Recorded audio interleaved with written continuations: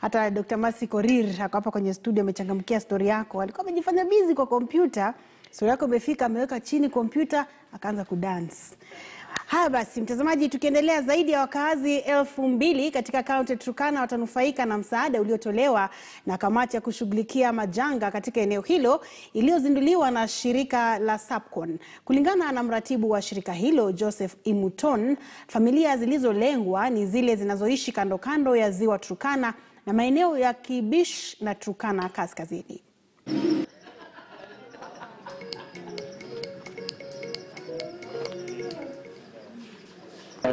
musamman na wuro kwa kwa fare laifin kan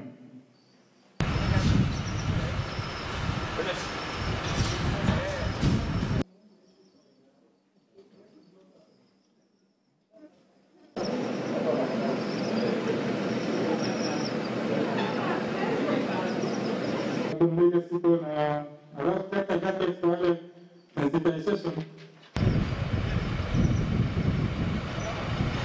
Today we are launching uh, COVID-19 uh, materials and messages. And these materials are supposed to be distributed to 1,000 communities across uh, Kibish and Turkana North sub-counties.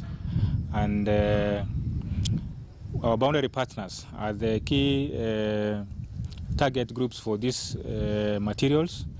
And we have uh, purchased reflector jackets, soaps, hand wash materials, jerry cans, signposts, uh, billboards, uh, as well as uh, materials for 31 health facilities.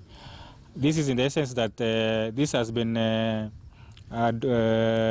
donated by Pact Kenya with the European Union backed donor EU, and we appreciate that uh, they are here to support us in this COVID-19. As much as NGOs are doing their part of getting us the materials, getting us soaps, we want the government to expedite the process of distribution of food because some of our people, especially those ones who are pastoralists, depend on on uh, on their animals. And now that the government has enforced the issue of curfew, no movement of people, uh, businesses